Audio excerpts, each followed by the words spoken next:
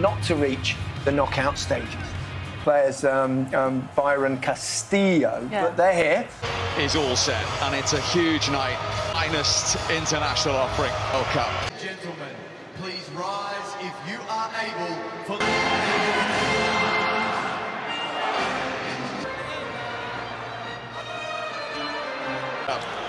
in there in, for the 2022 World Cup.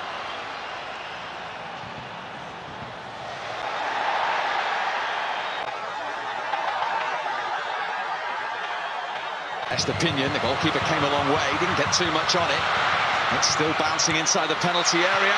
Enner Valencia. Les Ecuador captain has the and in do Ecuador. It's another one of those direct balls.